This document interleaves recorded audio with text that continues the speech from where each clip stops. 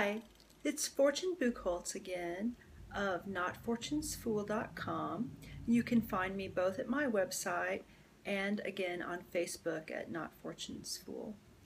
Per request of one of my followers, I'm making another kind of coffee table video. It's been a while since I've made one, uh, so I thought it would be a good uh, opportunity to make another one and connect with you all again. I'm here uh, in my new apartment in Pittsburgh, Pennsylvania, where my husband is doing some work, so I've come here with him.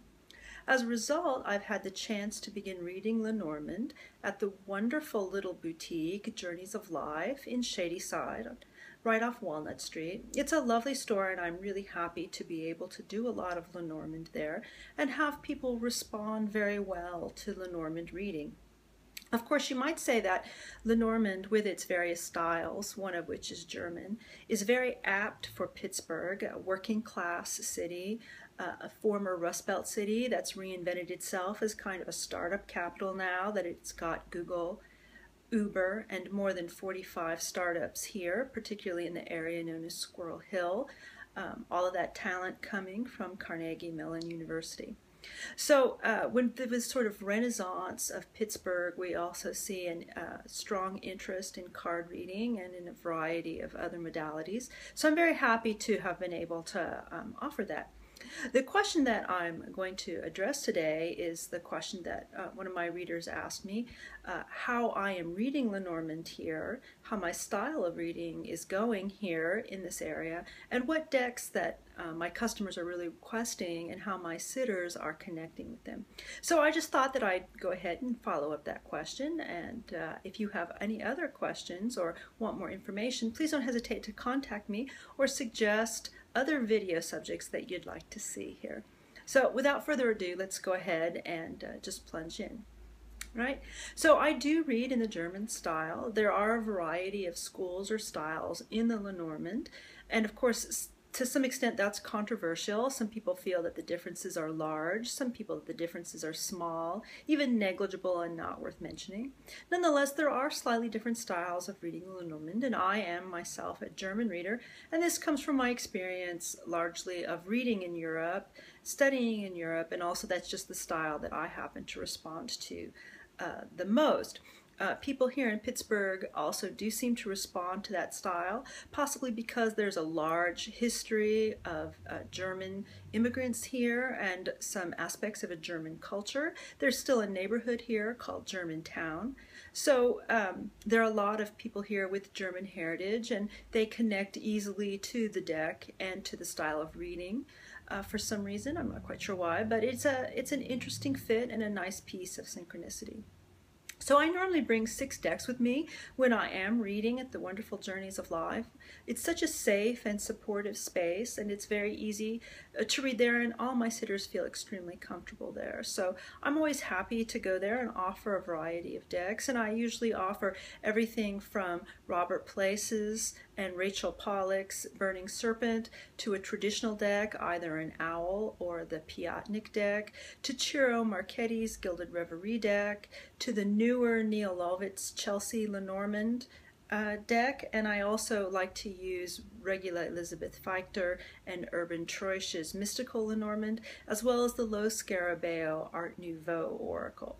So these are uh, some of the decks uh, that I often come with, but I find that really uh, most people do not respond to the traditional Lenormand here in Pittsburgh. Most people respond uh, to the uh, Robert Place and Rachel Pollack deck. I think that's very interesting, and I wanted to talk about why I thought that was. Of course, I've been um, an acquaintance of both Rachel and uh, Robert for quite some time uh, on Facebook. I have, in fact, met them both in person at various tarot conferences, although it was quite some time ago, so they may not necessarily remember the time that uh, we met at the Reader Studio. Um, I think it was in 2006, maybe 2007. So it was really quite some time ago, and I haven't been back to the Reader Studio in recent years. I just always seem to be in a different part of the country. Nothing against the Reader Studio whatsoever. Journeys of Life also has a strong history uh, with Rachel. She has gone uh, to give lectures there, and she did give a pre-release lecture for the deck, The Burning Serpent Oracle, uh, two or three years ago.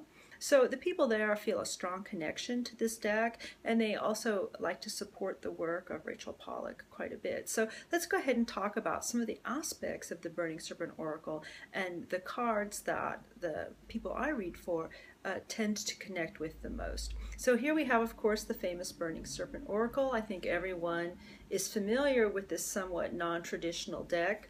It's really a beautiful deck, and if you don't own it, uh, I love the cardstock. It's of extremely high quality. It shuffles like a dream. It's very silky. It's a very durable deck. I do read with it many times a week, and as you can see, it has almost no wear or tear that's visible on it at all, even though I do let my sitters and my clients, my co, co, co as I like to say, uh, shuffle the deck with me. So um, as you can see, it's extremely sturdy, very slick, but not overly laminated, moves and uh, splays easily, easy to fan, easy to spring, very good deck. All right, so often, you know, when I talk to people who still haven't seen the Lenormand, it's still kind of new here. There are not a lot of Lenormand readers here, and not a lot of people use it uh, at home for themselves. Some of the cards and symbols uh, are unfamiliar to them, and so some of them they respond to uh, quizzically, and some they connect to immediately. So let's uh, show you an example of that in comparison uh, to say the Piatnik deck, which is a more traditional Lenormand. So here we have the Piatnik deck. This is card number 11. This is the whip or the birches, and you can see here this shows both a bundle of birches and a whip versus Robert Place's the whip which he shows as a cat of nine tails. So what I find is that most people who are new to Lenormand, most of my uh, sitters who come to me for the first or second time, and my students, as I said, really struggle to understand this card. Um, they look at this card, of course, it's a commonplace object. If you think about uh, this deck as a Biedermeier deck, a deck from the middle of the 19th century, uh, from the south of Germany when things like whips, birches, carpet beaters are very common objects. But today, of course, they're quite uncommon objects. So when people first see this, interestingly enough, the association that many of them make is with witchcraft or magic because they see this broom, this bundle of birch sticks, and to them it looks like a handmade traditional 19th century Amish broom. So they associate brooms with witches or brooms with house cleaning. They don't associate it with the whip idea, even though there is a whip hanging over it. They maybe this is unique to Pennsylvania because of the Amish influence here, but they do definitely uh, connect to this as an Amish broom as a household object and not necessarily as a whip at all. So this is a case where the non-traditional, more modern version excuse me, let me turn this around for you, that Robert Place offers, The Cat of Nine Tails, is actually uh, a better visual connection and has more visual meaning than uh, other decks would for my current sitters because they recognize the cat of nine tails as a bad thing, as a negative thing, as a form of punishment.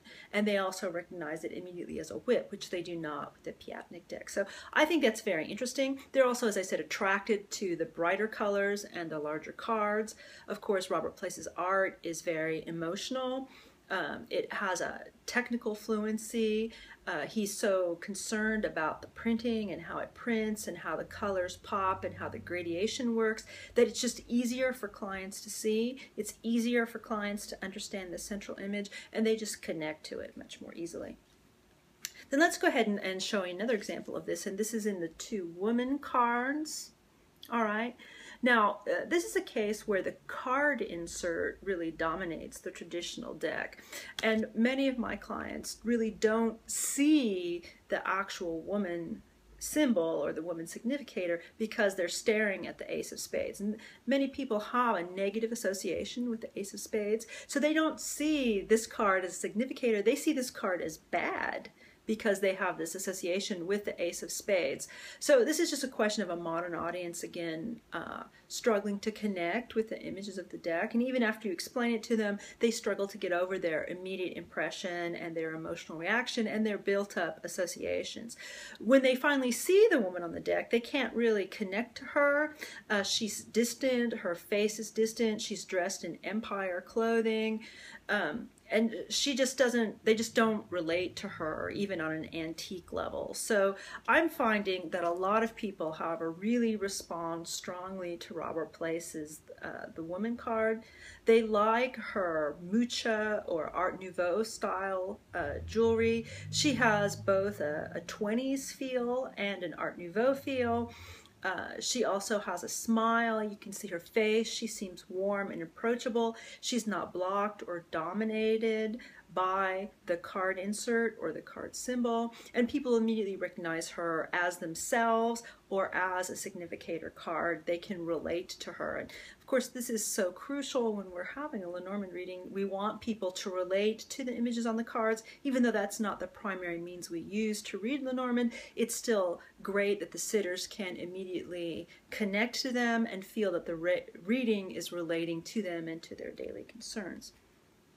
So, I mean, that's, I just think that's very interesting. Another instance that you can see this is in the paths, the ways, or chemins, if you like the French deck. So here we have the traditional Piatnik, the ways, right? So now this card actually has a lot of advantages, right? In that it has many roads, right? It actually uh, has five ways. So if you're looking at different options in a grand tableau, you can see that the different roads point out quite easily to a wide variety of options, which is very useful in a reading when people are seeking to get themselves out of a black and white point of view and seeking to help uh, themselves navigate through to new options or new directions, which is, of course, always our goal in a Lenormand reading or any kind of card reading, actually.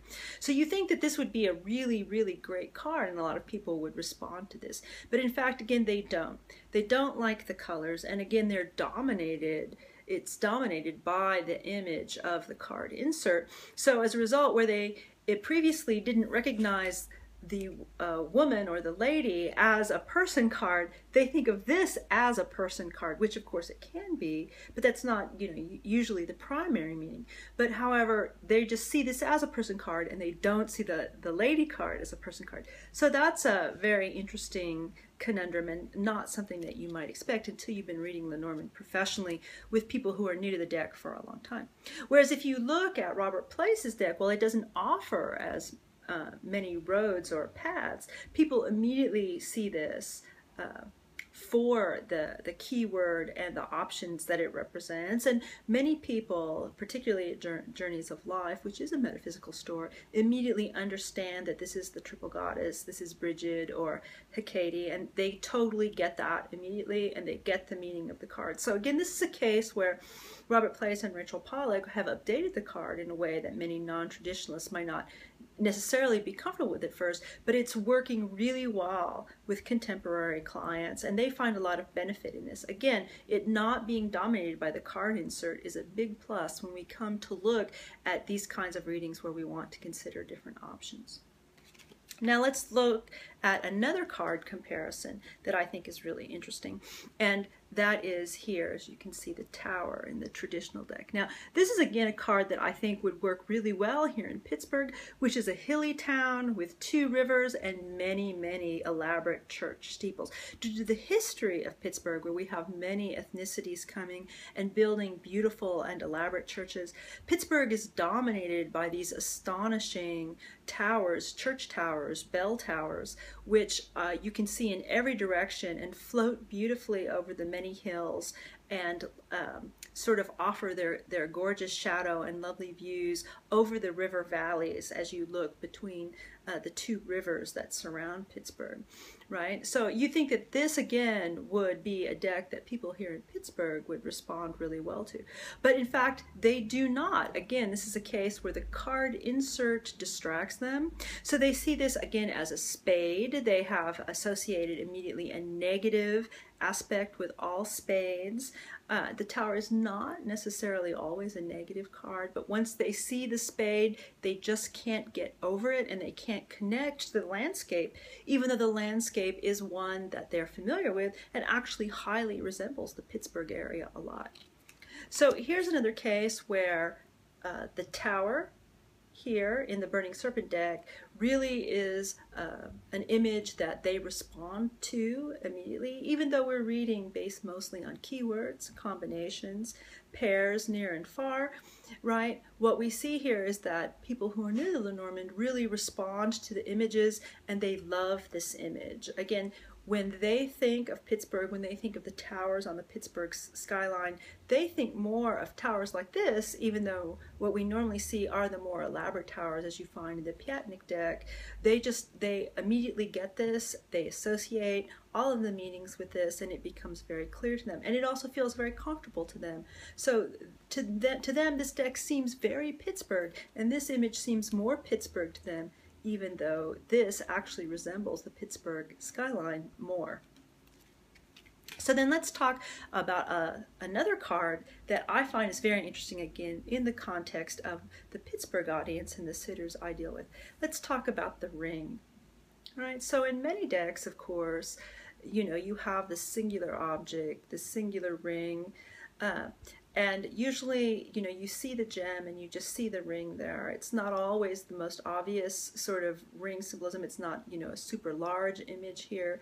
Again, um, this suffers from not being a very bright image. People struggle to understand that the ring is gold. And again, it's dominated by this card insert here. Again, people have immediate negative impressions with black suits, with clubs, even though, of course, this is not a negative card at all. Um, but just the concept of this giant black suit uh, causes people to uh, trigger cultural associations, um, and it's hard to then re-educate them more towards the Lenormand association. They just have this immediate negative impression. Whereas here, this card uh, causes a much different response, even though it doesn't have uh, the jewel. People do not have any problems understanding that this is a gold ring, and they immediately also uh, connected to a wedding ring. This may be because Pittsburgh has a large Jewish community, and of course, Rachel Pollack and Robert Place here have illustrated a traditional European communal Jewish wedding ring here. So many of my sitters uh, who have that background or who are familiar with that background immediately recognize this object for what this is, and uh, they get the range of meanings quite immediately. So um, as a result, I'm finding that when I offer people a range uh, of decks to choose from, they almost always choose, I'd say 60, 70, 75% of the time, they choose the Burning Serpent or Oracle and they understand it with great clarity, even though it's not a traditional deck. So um, I'm finding that the Burning Serpent Oracle, although a non-traditional deck, as I've said before, is actually the one that teaches the most Lenormand and communicates the spirit, the traditional spirit of the Lenormand in terms of its traditional meanings more clearly and more readily to my client base here in Pittsburgh. I just thought that was um, interesting and I hope that answers the question uh, that my uh, reader asked and so I um, I really hope that you enjoyed this video and again don't hesitate to follow me uh, on my Facebook page not Fortune's Fool, or go look at my website, notfortunesfool.com. And I hope that if you're in the Pittsburgh area, I'll see you soon at Journeys of Life. I'm reading most weekends, Fridays, Saturdays, and Sundays. Of course, I'm always available also for private appointments. So you have a great day and keep those questions coming. Thanks.